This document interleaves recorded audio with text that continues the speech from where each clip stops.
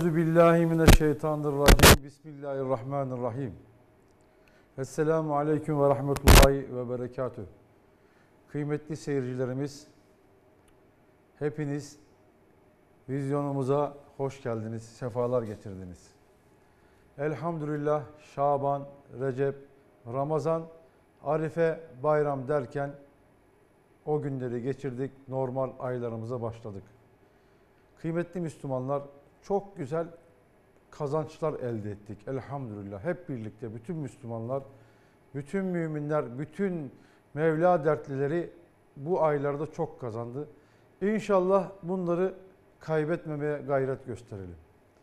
Kıymetli Müslümanlar biliyorsunuz Mevlamız hep namazda, duada sabır etmemizi istiyor.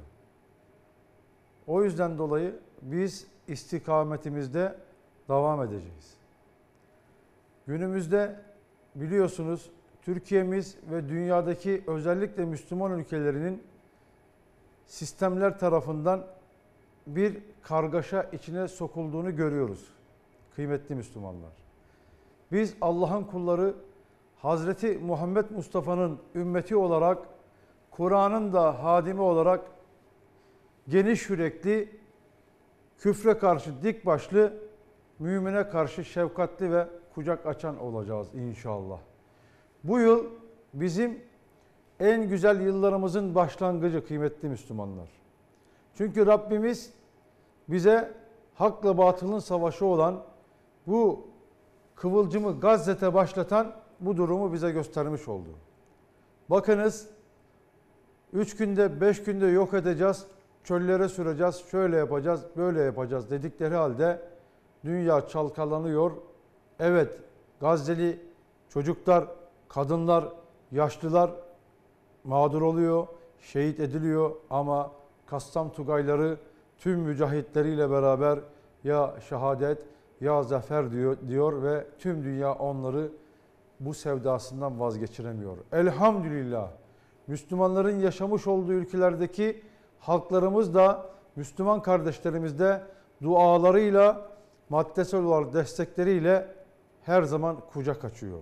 Onlara kötü söz söyleyen, sosyal medyalarda isimler açan İsrail ve bunun gibi ateist TV'ler gibi kuruluşlar her zaman saldırıda bulunduğunda onlara karşı da sosyal medyada mücadele ediyorlar. Müslümanlar kardeştir sözüne sahip çıkıyorlar. Bakınız biz daha önce ne söylemiştik?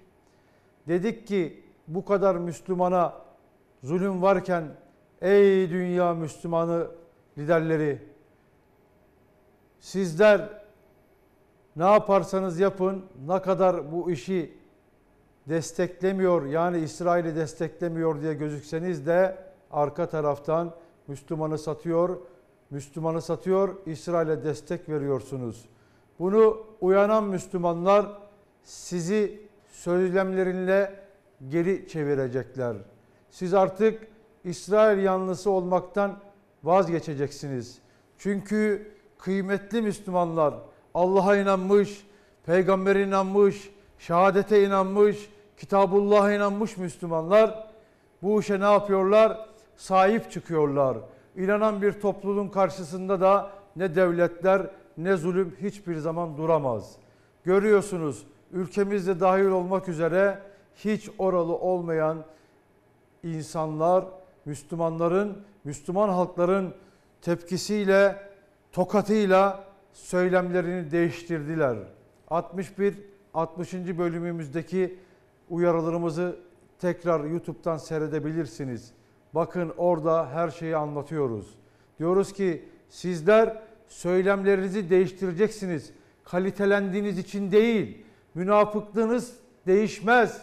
Münafık bir kere damgayı yedi mi onun değişmesi çok zordur.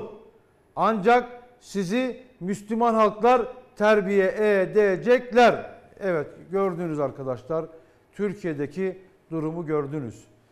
Demokrasi dediler, layıklık dediler, düzen dediler, sistem dediler ve sistem patladı arkadaşlar. yamamaya çalışıyorlar. Olmuyor arkadaşlar. Kesinlikle olmuyor. Allah'ın dini yeryüzünde Müslümanlar tarafından kabul edilip yaşanmadığı sürece, devletler de bunu kabul etmediği sürece yeryüzünde bu olmaz. Biz İslam'ı halklar olarak, devletler olarak da ne yapmalıyız? benimsemeliyiz. Neden? E görüyorsunuz.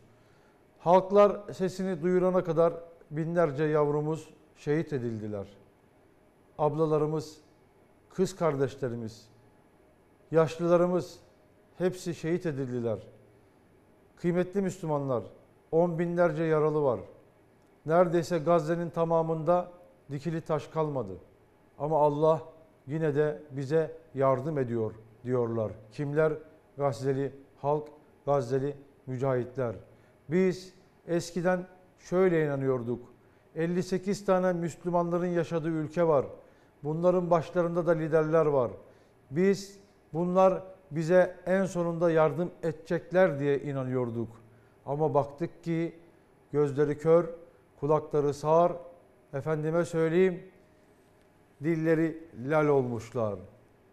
Elhamdülillah bir tane kız kardeşimiz diyor ki ey dünyanın başındaki Müslümanların başındaki liderler sizden artık yardım istemiyoruz. Şükürler olsun be. O yürekli kardeşimize şükürler olsun. Rabbim hepsine güzellikler ihsan etsin. İşi çözmüş, işi anlamış. Ne dedi biliyor musunuz? Siz bize ekmek, su, ilaç yollamasanız da biz toprak yiyoruz, karnımızı doyuruyoruz. Biz ot kaynatıyoruz, lezzet alıyoruz. Anladık ki sizden değil, çare Rabbimizdenmiş. Tek çare Rabbimizmiş. Satın alınmış, Müslümanların başındaki satın alınmış liderler değilmiş dediler. Bunu anladılar. İnşallah Rabbim 58 tane Müslümanların yaşadığı devletlerde her Müslümana bu Gazze'li kardeşimizin anlayışını ikram etsin. O zaman allah Teala inşallah bize yardımını gönderecektir kıymetli Müslümanlar. Siz ibadetlerinize dikkat ederseniz, siz benim istediğim gibi yaşarsanız, siz efendime söyleyeyim tağutun peşinden gitmez, Kur'an'a, Resulüne, Allah'ınıza itaat eder, sırf ondan yardım ederse yardım dilerseniz o zaman Allah Teala ben size diyor çeşit çeşit kapılar açacağım. Bakın bir kapı demiyor. Sizin devletleşmenize yani devletinizin İslam olmasına, devletlerin İslam olmasına bir kapı açacağım buyuruyor sevgili Allah'ımız. Biz bunu nereye çekersek çekelim Kur'an değişmez. Göreyim sizi. Daha tokat yemeye ne gerek var? Daha önceki programlarımızda da anlatmıştık kıymetli Müslümanlar. Sevgili Allah'ımız bizi seviyor, ikaz ediyor. Dilese hepimizi 60 derece, 100 derece soğuk yollar hepimizi dondurur. Dilerse güneşin biraz ayarını açar, hepimizi yeryüzünde yakar. Bizi Allah yok etmek istemiyor. Diriltmek istiyor. Mevla'nın üzerindeki emeklerimiz var.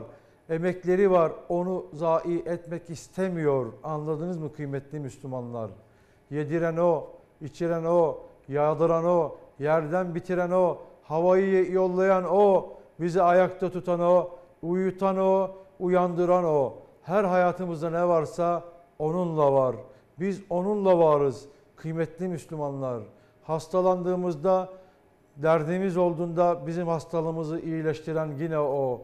Başımıza sıkıntılar, musibetler geldiğinde elimizi ona açtığımızda bizim dertlerimize derman olan yine o. Bizi hiç kimse bir derdimizden kurtaramaz. Görüyorsunuz ne kadar bu insanların bu devletlerden beklediği, Müslümanların başındaki devletlerden beklediğini arkadaşlar hep umut ettik. Bizi ne kadar çaresiz duruma düşürdüler ya. Bizi ne kadar çaresiz, ne kadar çaresiziz değil mi? Ne kadar çaresiziz. İnsanlık yok edilmeye çalışıyor. Bebekler, evler gık yok. Affedersiniz. Köpeği, kediyi, hayvanları da Allah yaratmıştır. Ama sosyal medyaya bakın bir tane köpeğe affedersiniz kıymetli Müslümanlar üzülerek söylüyorum. Bir tane köpeğe bakıyorsunuz hafif bir zulüm edilse bütün insanlık ayağa kalkıyor. 1 milyon, 2 milyon, 3 milyon kişi izleyip lanet ediyorlar onu yapana. Ey kıymetli Müslümanlar, görüyorsunuz Müslümanın Müslümanın üzerindeki kıymeti değeri bir hayvan kadar kalmamış. Bir hayvana duyarlı olduğu kadar insana kalmamış. Bunun sebebi Müslümanların üzerindeki kurulmuş sistemlerdir kıymetli Müslümanlar. Biz yolumuzu, Kur'an'ımızı, İslam'ımızı bilmeyelim, anlamayalım, uyuyalım diye dünyada bir sistem kurmuşlar. Ateist olabilirsin, deist olabilirsin, şamanist olabilirsin. Efendime söyleyeyim bir sürü sinsinler var. Her şey olabilirsin ama Kur'an'ı tam anlamıyla hakikaten anlayan Müslüman olamazsın. Bütün dünya karşında. Ama kıymetli Müslümanlar Kur'an'la olan mağlup olmaz. Burayı bilmiyorlar. Kur'an'a kucak açan, Kur'an'ı okuyan, Kur'an'ın kaidelerini, kurallarını, tefsirlerini, zerrelerini yerleştiren mağlup olmaz. Şehit olur, yine mağlup olmaz. Biz Kur'an'dan zevk almalıyız. Biz Kur'an'ı yaşamaktan zevk almalıyız. Biz tesettürden zevk almalıyız. Biz sünnet-i seniyeyi yaşamaktan zevk almalıyız. İnanın kıymetli Müslümanlar bu zevkleri Rabbim bizlere tattırsın. Tattırdığımızda onun üstünde daha büyük bir zevk yoktur. Çünkü ehli sünnetin Kur'an'la, peygamberle uğulaştığı yer cennet cemalullah'tır. Cennetten, cemalullah'tan daha kıymetli bir nesne, bir varlık mı var kıymetli insanlar? Göreyim sizi. Asla bakın Müslüman her şeyi yapar, her günah düşer. iki tane şeyi yapmaz.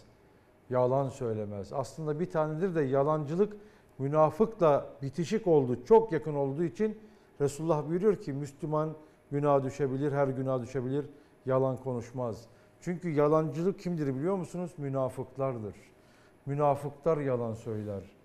Müslüman ne olursun Müslümanı sırtından vurma.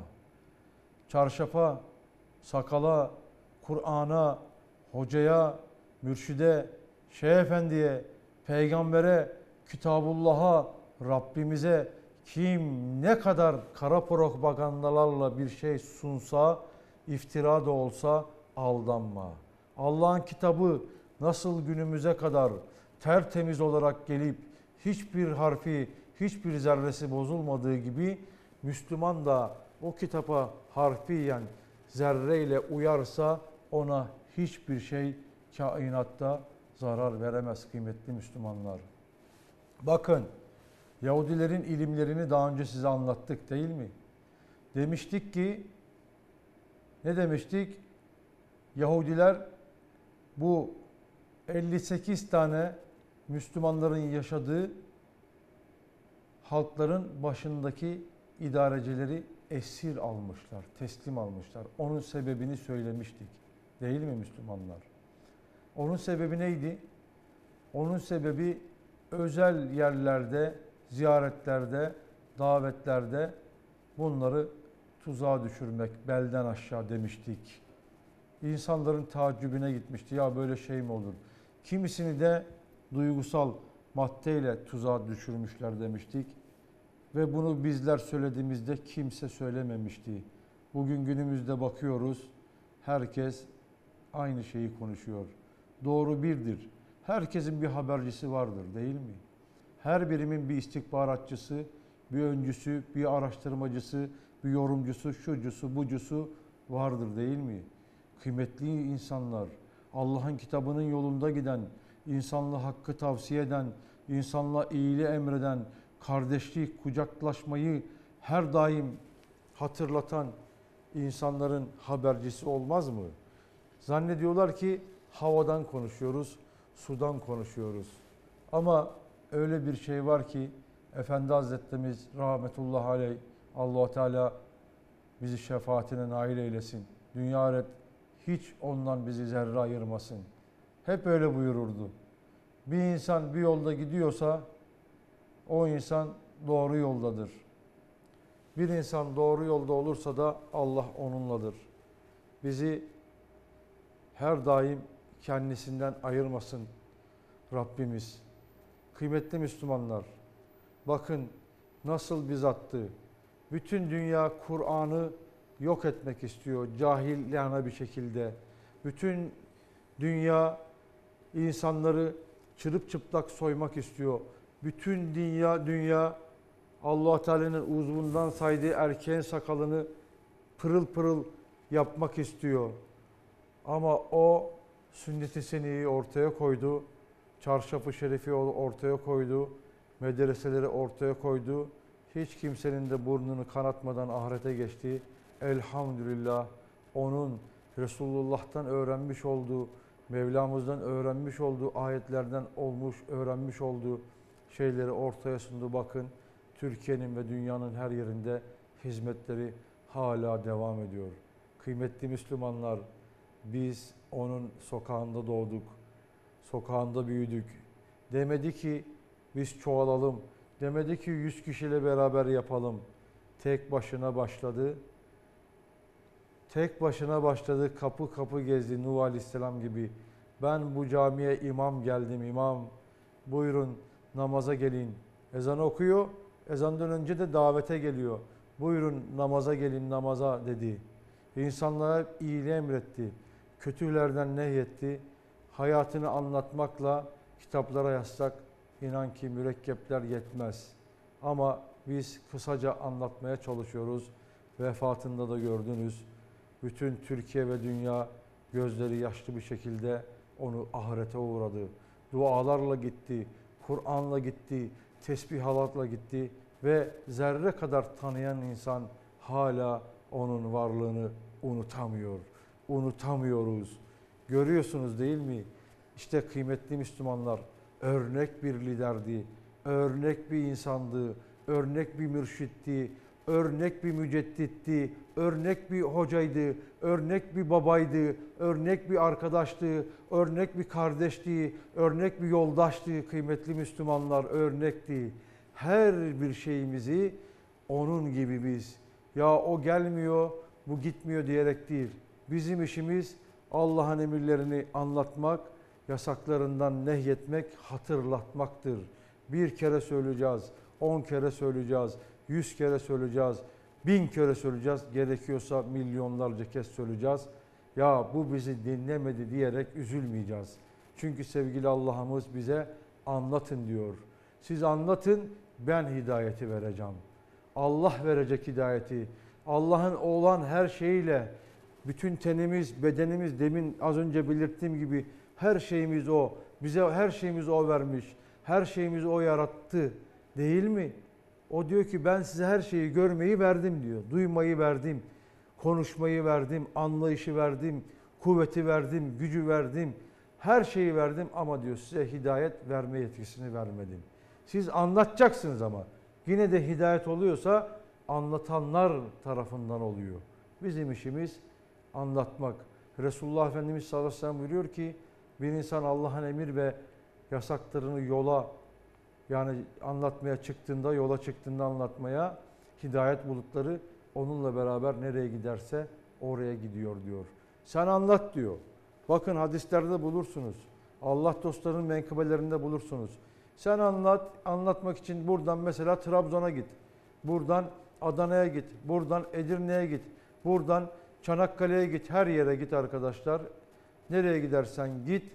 Bir tane insanı da dertlisin ya arıyorsun bulamasan sevgili Allah'ımız o çalışman hürmetine hiç tanımadığın, hiç bilmedin bakın Müslümanı değil bir kafiri ne yapıyor? İmana vesile kılıyor. Yani o çalışmandan dolayı sen misin? Madem ulaşamadın o halde ben sana ne yapacağım?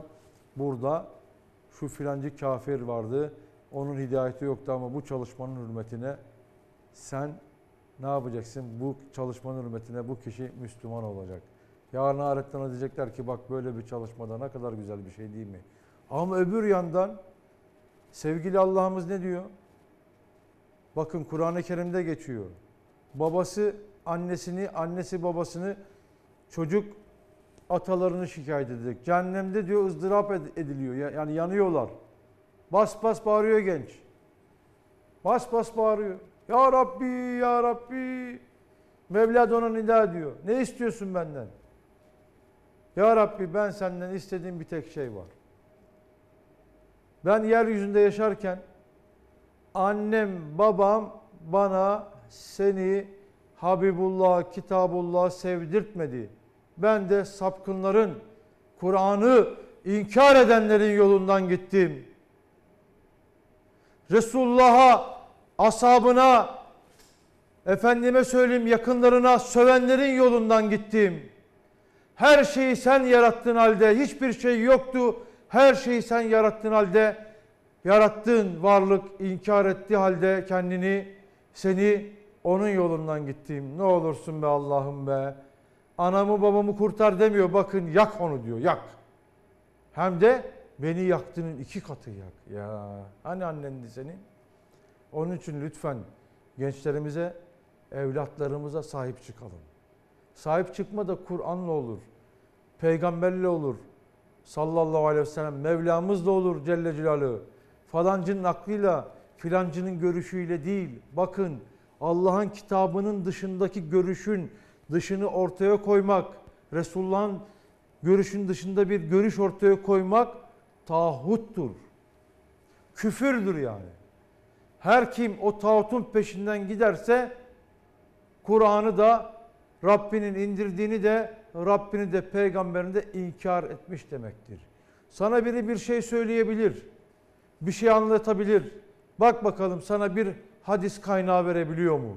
Hangi ashab-ı kiram bunu nakil etmiş? Sana birisi bir ayet anlatabilir. Bak bakalım hangi sure?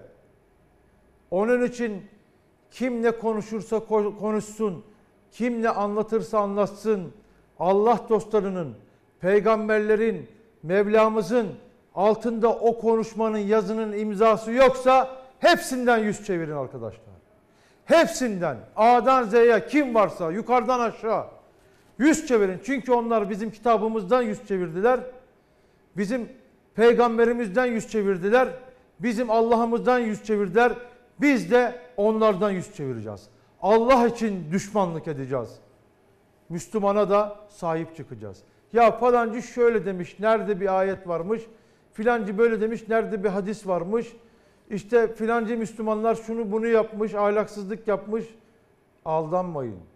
Bugünkü medya, bugünkü bütün sosyal ağ İsrail'in ABD'nin elinde, ülkemizde dahil olmak üzere kıymetli Müslümanlar. Öyle olmamış olsa ülkemizin bakın parasal konuda, inançsal konuda Türkiye'nin yüzde 89'u Müslüman. Ama bizim değerlerimize, kitabımıza, efendime söyleyeyim peygamberimiz Allah'ımıza küfür ediliyor. Nerede devlet? Millet burada. Nerede devlet? niye hesap sormuyorsun ya da bu kuruluşları niye kapatmıyorsun? Bize saygısızlık ediyorlar. Peygamberimize saygısızlık ediyorlar. Küfür ediyorlar. Tahrik ediyorlar. Olmadık şeyleri, tecavüzleri, efendime söyleyeyim kelle kesmeleri ortaya koyuyorlar. Müslüman yapmadı halde devletimiz bütün dünyada Müslüman devletleri bunu bilmiyor mu ki Müslümanlara iftira atılıyor, oyun yapılıyor. Öyle olmuş olsa onu yargılamanız lazım. Madem güçlüydünüz, kendi senaryonuz. Niçin dur diyemiyorsun? Dur diyemezsen seni böyle yerle bir ederler. Kim olursa olsun. Ben halkımı düzelteceğim, halkımı ferah kavuşturacağım, ben dinimi yaşatacağım, şunu diye yola ne kadar konuşursa konuşsun lafla peynir ekmek gemisi yok. Hepsi birbirinin aynıdır. Bir tane siyasetçi derdi Allah rahmet eylesin. Derdi ki siz hepiniz birbirinin aynısınız. Şimdi onu böyle bir yere oturtturuyorlardı. bir tarafa oturtturuyorlardı. Bütün siyasetçiler, partiler karşısındaydı. Hepsi bak şimdi Hepsi bir konuşuyor. Bir tanesi bir kelime konuşuyor. Ortaya koyuyor. Bu bunun hepsi susuyor. Hep bu cevap veriyor. Hep o konuşsa yine bu susuyor. Hepsi ona yardım ediyor. En sonu derdi ki sizi gidi sizi. Siz hepiniz birbirinizin aynısınız. O da rahmetli oldu. Demek ki siyaset, efendime söyleyeyim layıklık, demokrasi güm gümledi. He Müslüman bunu uyandı. Yanlış anlaşılmasın biz kimse oy atma demedik bugüne kadar. Hiç demedik ama. Hiç kimse. Çocuğumuza, hanımımıza, kardeşimize demedik ya yoldan geçene değil. Ölçüleri bellidir. Fetvaları bellidir. Ona göre yaşayın dedik. Öyle olmasına rağmen bakın 13 milyon tane vatandaş kim bunlar biliyor musun? Hani diyorlar ya şöyle oldu, zafer kazanıldı, şöyle yapıldı. 13 tane şuurlu vatanını, milletini, kitabını Gazze'deki mücahitleri düşünen Müslümanlar atmadı. Demokrasi var dediler. Laiklik var dediler. Doğru mu? Yani insan diler, dilerse oy kullanır, kullanılmaz. Ama yine ne yaptılar? Bastırıcı bir şekilde oy kullanmayana ucuz bir şey 300 lira para cezası dediler. Ama bizim halkımız para cezasından korkmaz. Çok korkmaz yani. Öyle ufak paralardan korkmaz. Büyük paralara bir şey demiyorum. Yok ki nereden yani şey yapsın. Ama fişlenmeyi sevmez. 2 milyon 100 bin kişi gitti. Ama kimse oy atmadılar. Hani biz senden vazgeçtik, kimse atmadılar. Buna bastı, buna bastı. 15 milyon 100 bin kişi. Bu dayatma olmasaydı belki de 20 milyon kişi kullanmayacaktı. Ne oldu demokrasi? Hani insan dilediği gibi yaşardı? Heh, bakın biz ne diyoruz? Allah'ın kitabına kim sahip çıkarsa onu Allah zirveye ulaştırır. kim de Allah'ın kitabına ters düşerse onu Allah Teala yerle yeksan eder. Kıymetli Müslümanlar. Gazze bizim işimiz değil deme şansımız yok. Mevla Celle Celaluhu innemel müminine ihva diyor. Müminler kardeştirler. Gazze'li mücahitlere bakın. İsterse bu kadar sakalı olsun. isterse başbakan olsun. isterse genelkurmay başkanı olsun. isterse vali olsun. isterse iş adamı olsun. isterse işçi olsun. isterse memur olsun. Ne olursa olsun arkadaşlar.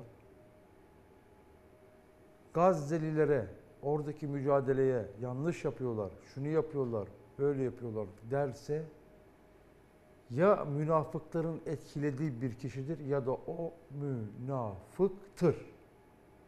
Kur'an, iman, İslam kardeşliği bölünmez bir bütündür. Biz Gazze'yi asla ve kat'a terk edemeyiz arkadaşlar. Müslümansan adam ağzına geleni sayıyor. Ya sen nesin ya? Ulan sen kimsin? Abdest almayı bilmezsin. Komşunla oturup kalkmayı, selam vermeyi bilmezsin. Ne bileyim ticaret bilmezsin. Onu bilmezsin. Anne saygısı bilmezsin. Baba saygısı bilmezsin. Cenaze saygısı bilmezsin. Düğün saygısı bilmezsin.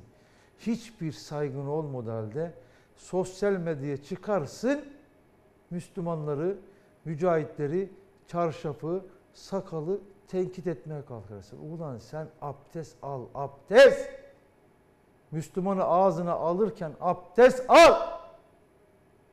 Ciğersiz insan, yüreksiz insan. Bir de hep sosyal medyada farklı isimlerle, fake hesaplarla yapıyorsunuz. Ulan Müslüman dedim mi Gazze'liler gibi olur. Müslüman dedim mi hakkı tavsiye etmek için her yerde konuşur. En büyük cihatın ne olduğunu biliyor musun sen? Resulullah Efendimiz sallallahu aleyhi ve sellem buyuruyor ki en büyük cihat zalim bir lidere hakkı söylemektir. Peygamberleri firavunlara direkt başkanlara yolluyordu Allahu Teala. Sen kimsin? Siz Müslümanın üstündeki tozu bile almaya yaramıyorsunuz ya. O kadar müsveddesiniz ya. Ama çocuklar işte gençler bilmiyor ki. İşiniz gücünüz yok klavyelerin başına geçiyorsunuz. Pat pat pat pat bütün sosyal ağı teslim almışsın. Bizim Müslüman da seyrediyor. Kardeşim bunlara göz açtırmayın ya. Bunlara göz açtırmayın. Kafalarını kesin demiyoruz. Gidip öldürün demiyoruz. Ama hiç değilse Allah rızası için bunlara önünü kesin ya. Ayet okuyun, hadis okuyun. Onlara da dua edin. Deyin ki arkadaşım sen kafirleşmişsin, münafıklaşmışsın, insanlıktan çıkmışsın. sırtlandan daha aşağısında onu, onu iman et, imana davet et ya. Bana ne ya? Sana ne ya? Bize mi kaldı? Ona mı kaldı? Meydan işte çakallara kalıyor. Ya Müslüman arkadaşlar Müslüman her duasında ben ya Rabbi şehit olmak istiyorum demezse cihat aşkı olmazsa o kişide kıymetli Müslümanların münafıklık alameti var ya. Ya cihatı bize unutturdular ya. Narkozdalar cihat en büyük silahımızı bize unutturdular. Ağzımıza almayı yasak saydılar ya. Cihat diyemezsin, cihat konuşamazsın. Ya adam bizi kesiyor, doğuruyor, asıyor, ateşe atıyor. Namuslarımıza, topraklarımıza istediği gibi davranıyor. Ellerinde bombalar, silahlar. Müslüman silah eline alamaz. Cihat edemez. Böyle bir şey yok ya. Yok mu işte Müslüman? Gördük. 58 tane Müslümanların başındaki devletleri gördük. Ama Gazze direndi, direndi, direndi. Bak siz nasıl başladınız dönekle. İşte biz şöyle yaptırımlar alacağız, böyle yapacağız. Mısır'dan bir ses çıkıyor, Ürdün'den bir ses çıkıyor. Oradan bir ses çıkıyor. Kaleler kuruyor hepsi. Gazze'liler için kale kuruyorlar ya. Hani çölde bunlar ölecekti ya? Ulan aslanlardan aslan çıktılar be. Sizin isimleriniz, gravatlarınız olsa ne olur be? Böyle sakalları var, beyinlerinde hafızlıkları var. Beş vakit namazlarını kılıyorlar, aç kalıyorlar. Rabbim Allah'tır diyorlar. Ne Amerikalı var savaşçı karşısında ne İsrail hepsi kaçıyor. Siz onlar bakın ya hiçbir şey yok. E, kar, karşılığında hep füzeler bilmem neler olmasına rağmen yerin altında yaşıyorlar ya. Sen orada iki gün kalamazsın bu kafayla. Orada oksijen sıkıntısı var. Yemek sıkıntısı var. Ateş yakamazsın, bilmem ne yapamazsın. Orada yaşama gücünü Allah ona vermiş be. Sen geliyorsun onları tak şey yapıyorsun. Bir tanesi geldi bana çok önce Çeçenistan Savaşı olduğu zaman yine biz mücadele vermeye çalışıyoruz. Karınca kararınca. Ya dedi hocam e ne var?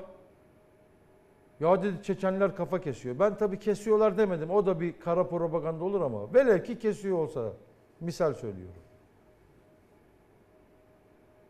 Öyle şey olur mu? Dedim ki arkadaş sen şimdi İstanbul Fatih'te yaşıyorsun. Tamam. Buraya da geldi. Küffar ordusu teslim aldı. Tamam. Babanı öldürdü. Tamam. Anneni öldürdü. Tamam. Kızlara tecavüz etti. Adamın gözleri çıkmaya başlıyor ama bu öyle büyüyor gözleri. Tamam. Onu yaptı, bunu yaptı. Onların yani görmüş olduğu zulmü söyledi. Tamam bitti ben bu kadar dedim. Sen şimdi bu adamda cephede dağda karşılaşsın ne yaparsın dedim. Kafasını keserim onun dedi. Ne oldu? Ne oldu ne oldu? Evine hırsız girdi. Ailende çıplak affedersin. Ailemiz çıplak hırsız girdi. Belki bir oradan bir şey alıp gidecekti ama ailemize o terbiyesizliği o anda girdi diye ne yaparsın onu sen? He? Ne yaparsın ne? Kız kardeşini geldi. Kolundan birisi çekti. Tabanca var belinde, satır var. Ne yaparsın? Al bunu git mi dersin ya? Ulan onlar aynısını yapıyorlar. Evini başına yıkıyor. Yerle bir ediyor. Her şeyi topraklarını alıyorlar. Namuslarına göz dikiyorlar. Üstüne örtecek örtüleri bile yakıyorlar. E her şeyi yapıyorlar.